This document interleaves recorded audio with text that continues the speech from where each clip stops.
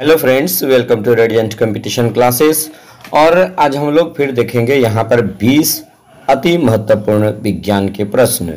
बिहार सचिवालय सहायक परीक्षा जो कि नवंबर में निर्धारित है, इसके आधार पर हम लोग अपनी तैयारी को लगातार बेहतर करते चलेंगे। इसके लिए प्रतिदिन मैं आप लोगों के समक्ष 20 साइंस के प्रश्न और 20 मिसलेनियस टाइप, यानी कि एक लाइव स्ट्रीम के माध्यम से और दूसरा अपलोडेड वीडियो के माध्यम से प्रतिदिन 40 प्रश्न मैं आपको प्रोवाइड करता हूँ।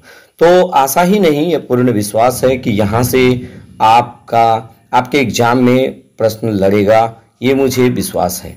तो चलिए स्टार्ट करते हैं आज का पहला सवाल। जंग रहित लोहा बनाने में प्रयुक्त तो होने वाली महत्वपूर्ण धातु कौन सी है? तो इसका राइट आंसर हो जाएगा क्रोमियम। यानी कि क्रोमियम धातु का प्रयोग जंग रहित लोहा बनाने में किया जाता है। उसके बाद देखिएगा दूसरे नंबर का सवाल। दूसरा नंबर कह रहा है, क्या वह तत्व जो सर्वाधिक यौगिक का निर्माण करता है, सर्वाधिक यौगिक का निर्माण करता है वो कौन सा है? तो इसका राइट आंसर हो जाएगा आपका कार्बन। यानी कि कार्बन एक ऐसा तत्व है जो सर्वाधिक यौगिक का निर्माण करता है। ये अति महत्वपूर्ण इस तरह के प्रश्न लगातार परीक्षा में छपते आए हैं। नेक्स्ट देखिएगा कि कार्बन का द्वि आयामी अपरूप कौन सा है? यानी द्वि आयामी टू डायमेंशनल जो एलोट्रॉफ है, ये कौन सा है? तो इसका राइट आंसर हो जाएगा ग्रेफिन। यानी कार्बन का द्वि आयामी अपरूप का नाम ग्रेफिन है। उसके बाद देखिएगा, चौथा नंबर का सवाल, पेंसिल का लेड किससे बना होता है? तो इसका राइट आंसर होगा, ग्रेफाइट से बना होता है। पेंसिल का लेड ग्रेफाइट से बना होता है। नेक्स्ट देखिएगा पाँच नंबर का सवाल देखिएगा। कार्बन की मात्रा अधिकतम किस प्रकार के लोहे में होती है? तो इसका राइट आंसर होगा ढलवा लोहा में। यानी ढलवा लोहा में कार्बन की मात्रा अधिकतम होती है। नेक्स्ट क्वेश्चन देखिएगा छठा नंबर का। छठा नंबर का सवाल है कि शुष्क बर्फ़ किसे कहा जाता है? बार बार परीक्षा में छपने वाली यह प्रश्न है कि सूखी बर्फ़ या शुष्क बर्फ़ किसे कहा जाता है? तो इसका राइट आंसर होगा ठोस कार्बन डाइऑक्साइड को। नेक्स्ट देखिएगा, सात नंबर में हाइड्रोजन को जलाने से क्या बनेगा? राइट आंसर है, पानी बनेगा। हाइड्रोजन को जलाने से पानी बनता है। उसके बाद देखिएगा, आठ नंबर का सवाल कि भारी जल का सूत्र क्या होता है? तो राइट आंसर हो जाएगा, भारी जल का सूत्र D2O होता है। यानी कि D2O जिसका खोज यूरे ने किया था, ये भी आप याद रखिएगा, भारी जल का सूत्र D2O होता है और इसका खोज यूरे ने किया था। और नौ नंबर का सवाल देखिए, भारी जल का अनुभार कितना होता है? तो इसका राइट आंसर हो जाएगा। इसका अनुभार 20 होता है। अगला सवाल देखिएगा, दस नंबर का सवाल। दस नंबर का रह के पानी की अस्थाई कठोरता किसके कारण होता है?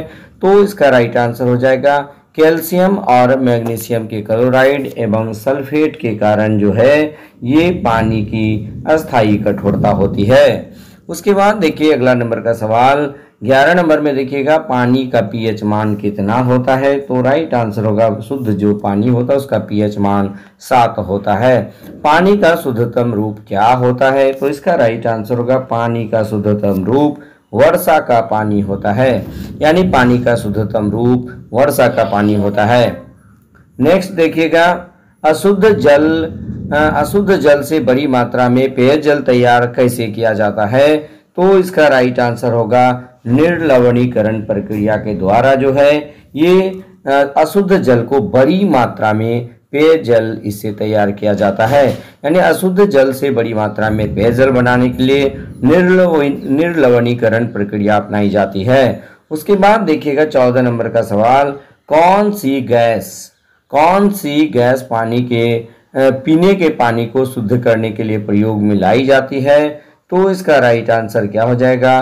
क्लोरीन यानी क्लोरीन गैस का प्रयोग जो है, शुद्ध पानी को बनाने में, यानी शुद्ध, पानी को शुद्ध करने में क्लोरीन गैस का प्रयोग किया जाता है। खास करके आप देखेंगे कि जो घरों पे टंकी लगा होता है, उसमें क्लोरीन गैस डाल दी जाती है, जिसके वजह से पानी शुद्ध हो जाती है।